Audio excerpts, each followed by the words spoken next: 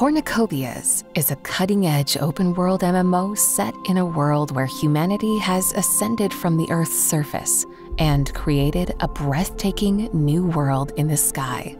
This fantastical realm is a system of floating islands carved from the land we once called home, now encased in radically advanced dome shaped structures suspended high above the clouds. Each one is a futuristic marvel with its own unique environment, identity, and thriving communities. It is within these domes the epic journey begins. Here, players take control of their own personal avatar, which gives them the freedom to choose their destiny. Be immersed in vast landscapes, explore vibrant settlements, and engage in a myriad of activities such as crafting, commerce, combat, racing, and more. Welcome to a world where the sky is no longer the limit.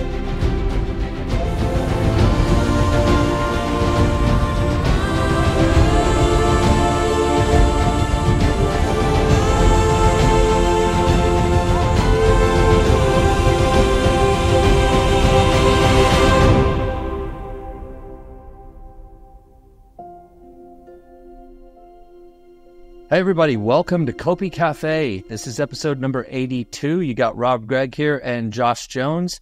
And we got a fun episode for you. It's going to be short and sweet. We'll talk a little bit about ETH Denver, give a quick nodes update, some uh, some thoughts and acknowledgement on uh, the land grab, and then we have a special guest, a question, and a leak. So, all of that and more coming up soon. Rob, what are you drinking today, sir? Well, today I have Yorkshire tea again. Hey, Yorkshire what tea. What are you drinking, Joe? Uh, so you want to get a my most valuable NFT if you guess? Um, water. Um, no, no, it has water, but I'm drinking a uh, mix. It's uh, like a vitamin pack. It's got vitamins, a little bit of caffeine, and some flavoring. It's called the Fizz. Well, looks fizz. It's always good if you can't make your mind up what you want to drink. It's delightful. It's delightful. Cheers. All right. Well, let's get right into it. So, fun stuff coming up next week. Unfortunately, you will not be able to come to this, but I will be in ETH, Denver, uh, and that's going to be uh, a pretty pretty cool conference. They gave us an area where we can demo the game. Uh, it's their arcade area, and they could demo demo the game there. So, uh, pretty cool of them to give us that opportunity. So, we'll be exposing the game to as many people at ETH Denver that come over to the arcade area. There's a media uh, team there that we're going to meet up with and do some interviews. So be be on the lookout. So we'll we'll try to cover some of that. Doug Hype is going to be there, so I'll get Cool. to talk to him at some point. Nice. I think I'm going to try to out fur him because he's got a great fur that he wears. It's coat. So I mean that doesn't count really as a as a leak, but I am going to try to do something sneaky uh, and uh, really Fur bring the bling. Very so- interesting. We'll see if I pull that off in time. I don't have a lot of time. I don't have a Well. fur either, but yeah. So yeah, that's it for ETH Denver. I wish you could be there, man. But we're also doing consensus this year, so you'll be there for that, uh, which is going to be a lot of fun. Yep, and coming over um, to watch a huge- baseball match. I'm looking forward to that. Yeah, yeah, a little Round Rock Express. Yeah, I've never fun. been to a baseball game before. Oh, you're gonna love it, man. You're gonna love it. It's fun. All right, so we got that going on. Um, the nodes update. You know, you might be able to shine more light on this, but you've developed the proof of concept. The node sale is running, so for anybody listening, all you have to do is go to cornucopias.io, click on marketplace, and you could participate on the base layer two Ethereum uh, node sale and that's ongoing. We'll reopen Cardano again soon, but the update is you've been working on the architecture with uh, one of our team new team members. So you want to tell anything new about that?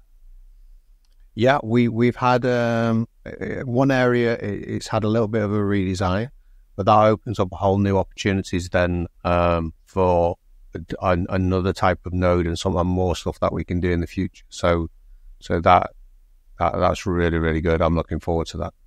Yeah, in terms of in terms of sales, now we've just we've sold over a third of of, of the nodes, uh, which is really really good. That means we're now at I'd like to say consensus level, but we're at a really good level where where the idea of those distributed nodes for file distribution now works. So so, Yeah. so that's a good milestone to get over. Yeah, I'm, it's I'm great. still early on, on this sale, which is obviously open all the way till July. Yeah, well, thanks to all you in the community that have participated in and want to support uh, Cornucopias with the infrastructure side of things. And it also, you guys are helping us to push towards decentralization with our infrastructure. So that's exciting as well. All right. Um, we've had quite a few comments on the land grab topic that you you and I brought up. I guess it was last week in Copi Cafe or or whatever. And we want to let you guys know there's been concerns. There's been people that love the idea, all of the above. Again, that was just an idea. Uh, we we want to let you guys know that we're listening and we're still solidifying all of that and talking about exact, uh, you know, with the team planning meetings. We're we're working through exactly how we want to do this in the most fair way possible. So we'll give you some more substance on exactly how that's going to work as soon as we can. Uh, so keep your uh, your ears peeled and, and keep get ready to watch the next Copi Cafe or or in the near future. We'll we'll give you more context and more details on exactly how that's going to work because that's a huge goal for this year for us. So we have a lot of fun stuff coming with the land. Uh, I mean, that's it. That brings us to our special guest. Should we should we get him up here? Yeah. All right. Welcome, as as David, who will be appearing on most Copi cafes. Uh, not, not probably not all of them, but from from here on out, we want to get you up here more regularly. Uh, we'll also have, uh, I think next week we're going to have Matt up as well, uh, Cool. which would be cool. Really? But um, yeah, it's good to have you on, man. What are you drinking? Um, two things really. So we got muscle milk. Yes, M&Ms. my muscles. No, no, this is like kind of like a meal replacement. You know, Okay, just so busy. Um, and then of course, uh, the Stanley with the water. So probably the most unpopular cup in the world. So Uh, is it because of that new lead campaign? That's I don't know. This is more of a joke because it is the most popular. It, yeah, I know. Uh, but like it, it's uh, apparently there's like a smear campaign going saying there's lead in the mugs. But it is Yeah, a one of- great, it is a really well designed mug to get good nice. amount of water, liquid in it, Yep.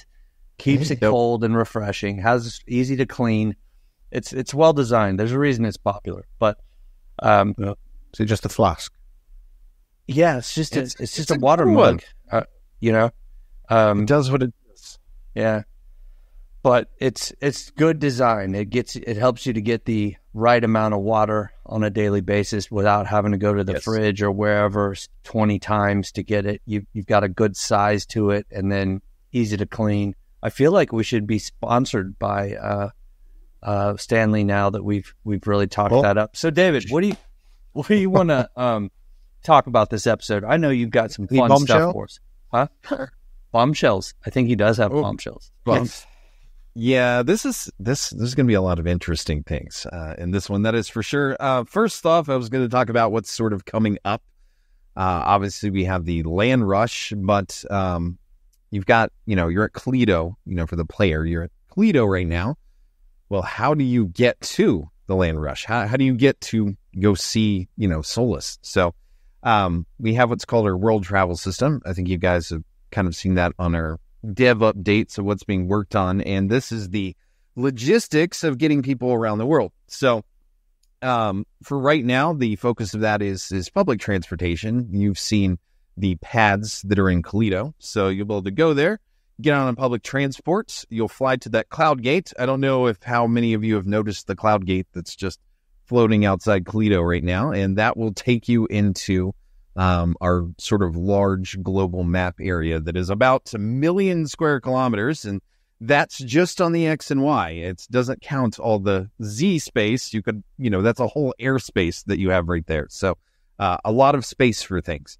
Um, what we went with now that's different from the original plan uh, is, you know, let's take a zone in a in a nutshell here. You've got Solus.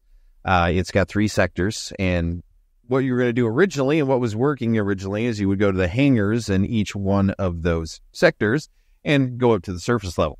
Um, because we're going to have 36 of these sectors in the entire world, that is a logistical nightmare for what is essentially a metro system. Uh, so what we went with now, which is a much better idea, is you have a central hub that's in between the that cluster of sectors that makes up a zone. Uh, the the public transport actually goes through there. Oh, we're going to put this on the screen now. Okay. so we're gonna we're gonna talk about all of it right here. So yeah. Uh, well, you know what? Let me let me pause real quick to just introduce a community question. So we've had a com- community questions about you know what's going to happen with the home bubbles. We've had quite a few of those. So that's the questions yep. that we're going to answer for you guys today, uh, which is that are we going to have a home bubble still? You know, people were we haven't talked about that a lot late lately. Yes, we are. Uh, the answer is yes, we are, and we've improved that significantly. So what the way we changed it is the home bubble is actually going to be a community area where everyone starts with their own space, uh, and in the basement actually where they can level up over time and gradually work their way to the penthouse. You'll still be able to craft and build out your own personal space inside that area, but this creates more of a community feel and uh, we think that's uh, really important. Goes along with the lore well, and there's there's a lot of positive things that that does. It enables us to create a location that's easier to get to Solus and and these different um, domes that you may want to go to as well. So that's uh, the free to play housing sector resorts that you see here in the image, and that's all I wanted to do is just to to set up and answer that question, and then you can kind of give it more more detail. Yeah. So yeah, why why did we move away from the original free home bubble idea? Well, uh, on paper, it seems like a great idea, but logistically, it's it's a problem for gameplay. Uh, it it could be a problem for servers. It, it's just um, you know we're guys. What we're aiming at is like millions of players in this case. Um, you don't really want to, let's say, hop in a bubble jet fly a couple hundred kilometers one way, go through a cloud gate, go into a certain instance, and then have to go visit your friend that might be in one of those, you know, a million home bubbles that have a lot of space between them. I mean, there is a chance that we're going to have the home bubble in the future as more of a premium thing, but this is what we're looking at right now, which is every single zone, such as Solus, is going to have a central hub in the middle on top of that is your sector resort, essentially. And uh, you will actually be able to choose uh, as a free player or as paid, what, whatever it is, you'll be able to choose, hey, I want to live in the center of Esperanza. I want to live in the center of Solus or Fortune or any of the other zones that you have there. Um, the free to play uh, player metro system, uh, public transport, if you don't have a vehicle, runs between these central hubs, uh, between the sectors. So that's your second level that's below. And then below that, you have your private player hangar. Uh, this is also a solver of a problem. We were, I think I was a little bit overwhelmed seeing that some people have 300 bubble jets. Well, it doesn't make a lot of logistic sense for that to all be in your home bubble. So, uh, large central, you can think like Star Wars kind of hangar uh, that's down there, and you'll be able to view and see all of your vehicles fly out of those, and you have very close access uh, to ev- to everything in the world. This also helps remove a loading screen uh, as well uh, to some degree, and it's it saves you a lot of time. So inside of that sector resort or housing, you will have levels going all the way up. So you have kind of like your basement and above ground layers where you'll have a lot of free players to be there. Just, uh, you know, some people will have windows, some people won't. Uh, as you go up, you'll get to a penthouse level where there's a lot more space, and that's options to purchase or options to earn your way up uh, to those. So the uh, the higher up you go, the bigger they are. And what happens in there is essentially the building that we would originally seen uh, in the home bubbles. Uh, sure, you could have some ponds, you could have some plants in there, but you can also decorate walls, put up paintings, things that you've crafted in game.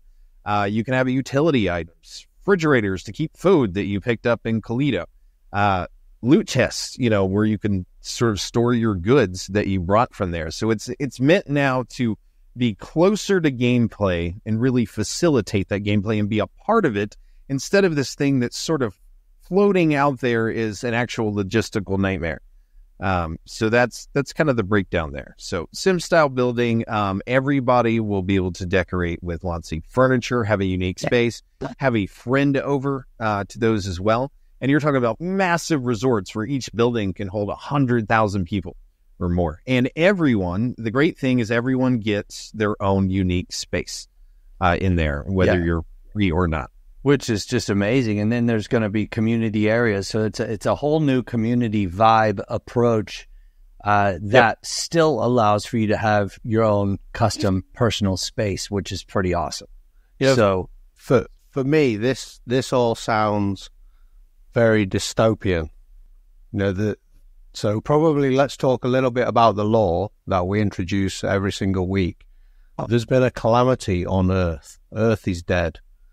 Everybody that goes up into, and and starts in cornucopias, you're basically a refugee. You're starting with absolutely nothing. You're starting with a dream. You're starting in the basement. I'm hoping on the wall there will be a picture of two trees and a hammock because what you need when you're starting your new life in cornucopias is you need hope and and that's your hope you want to start off with absolutely nothing you need to build yourself up you have you have a dream you have a dream you have hope just like in episode 4 Star Wars you know we we all need hope I think you you said that incredibly well. Dystopian hope, and it so Yeah. syncs with the vibe Yeah. of what we want to create. you'll have one Uh, set of clothes yeah. so so what yeah, I, we I- will definitely bring in two trees in a hammock in a way that's uh, still compelling and Yeah. fun, uh, and and honors that part of the legacy of the original story. Uh, that's only changed a, a Yeah. tiny bit there, but I Yeah, I, I don't think there's any reason why you couldn't put two trees in a hammock in one of those spaces. Ooh. and so, I mean, a lot of those will be big enough to do that. Yeah. Yeah. Li- life is going to be tough to begin with. You know, you're going to have one set of clothes, as, as you know, as with every other MMORPG. You're going to have to go and work. You're going to have to grind. But everything that you get, everything that you earn, everything that you craft will be yours. You know, this this is what Cornucopias is all about. You start with nothing, and who knows where you're going to be in a year, two years from now. But one thing is guaranteed: you will own it all because you've earned it. Yep. Yep.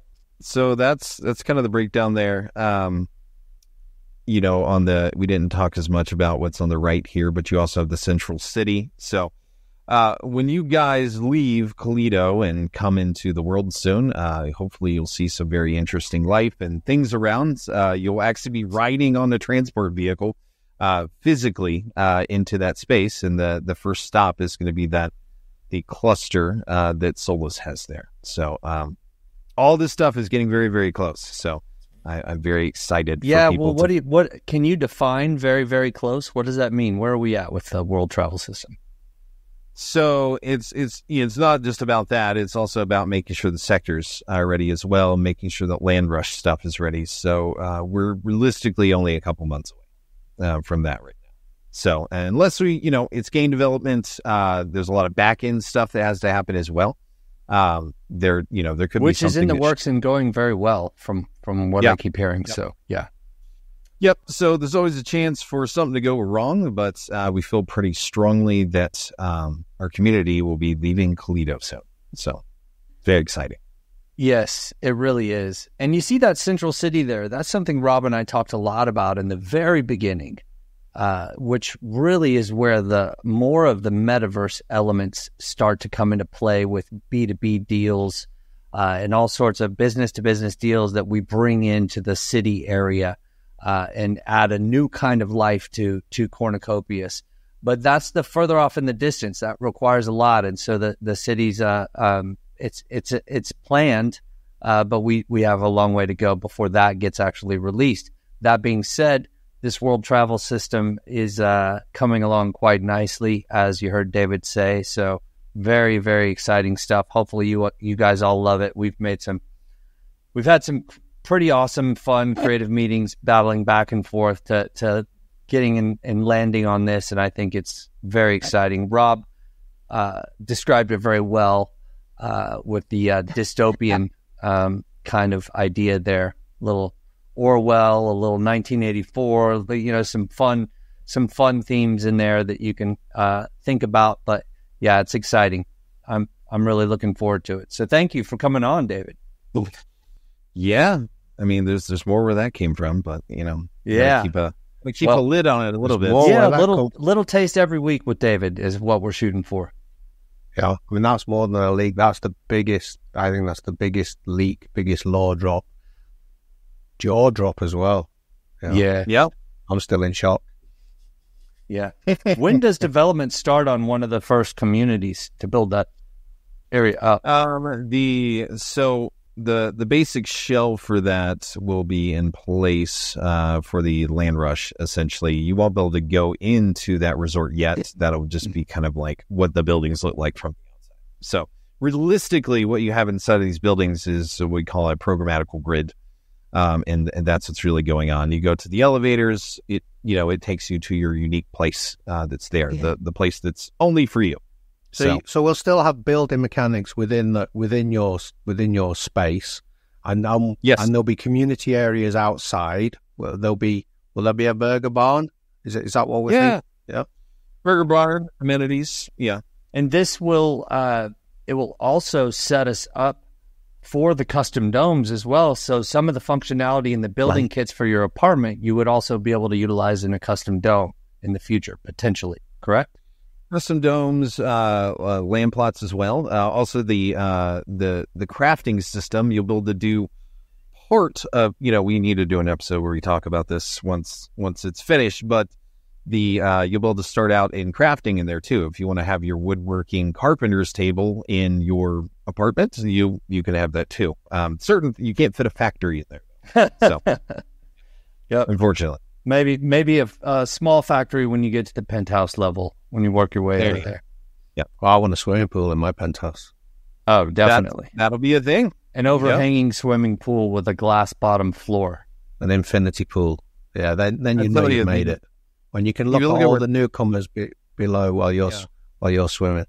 Yeah, if you it's- look at the stats of the Sims and and how you know how popular that is, and you know going through for years, people really love that the more micro building of decorating their own space. You know, rugs, coffee tables, you know, utility items, all of that. Well, it's a, it's a whole different type of progression. I mean, we talk a lot about progression. This is this is an, an another element of progression. Yeah. Yep. It's it's going to be a lot of fun really planning that out and uh, going through that progression. We're going to need some props artists. That's for sure. We Yeah. got them coming. Yeah. So I got I got a lot of hires that we're going through right now. So that's that's not only going to speed up the sector development, it's going to allow us to do more things at once. So uh, on a big hiring spree. I, ju- I just have one question. Sure. If, if I work my way up to a penthouse, can I do some base jumping? Might have to put you in prison for that. Do I have, So to, if do I have to take we the lift? Yep. Surely I can base jump. That's or question maybe a number Batman two. pole. Actually, um, so I don't know if we're allowing two questions when you said it would be one. Are we? Oh. Judges? Judges? Hey, I'll let's ask- give him the second question. um, no, I I love the idea of base jumping with the with that that would be awesome. Hey, and if you get imprisoned for it, fine. Yeah. Some You're of us the are base- willing to suffer the the base consequences it makes sense. if you get Police caught. bot forming at the bottom and saying, "Don't do it," and them trying to go up there and grab you. So But then, but then you can open up your your your parachute like James Bond. You, know, you might Oh, be yeah. able to have a a, a, a corn flag or uh, as your parachute. Maybe if we can get the, uh, you know, I'm I'm just going to say AI integration or something right now. They could be like, "Rob, we've told you before. World's Yeah. Told you longest, not to do tallest zip line. Yeah. So Will, Well, will, will there be some towers bigger than others? Well, we'll have to leave Uh, all these questions for. I'm- I'm i gonna- mean, that's. yeah, we'll leave all this. to I just have So- one question turned into 16, but that's okay. Well, yeah, yeah, I mean, imagine what the community are going to ask. This, this, this, this is gonna set. Oh no, it's going to be an explosion of new questions. It's good though. Hey, look, this is fun. It's a great, uh, it's a great new solution, and we've been always all about community. It's going to make it so much easier to get people into your area because everybody starts here. Uh, not everybody on each one, but because there will be different ones. But uh, yeah, it's going to be it's going to be a lot of fun. I'm I'm, I'm, really forward excited. To. The, what what are, what do you call the the suits, David? That you is it the breaker suits? Yeah, breaker suits. So that's uh, what Well, because you're being ferried in from our world Yeah. to their version of Earth, where things haven't went as well. You're going to come over on the World Breaker, and you're going to be in your breaker suit. So uh, it's not to say that you couldn't buy some other clothing, shop around. You know, um, we don't want everyone to look like it's a giant prison yard. So uh, you know, th- that's that's what you start with. It's a lot So to take Some in. people might even compare it to like a vault suit in, in Fallout or Yeah. something like that. All right. Yep. Well, folks, you heard it all here. Thanks for coming up, David. Really appreciate you. Uh, and I know you got a lot to do. So, Rob and I were back to back with meetings today. So, we'll let everybody go. Thanks for watching yet again another episode of Copi Cafe. We'll see you on the next one. Bye bye. Don't care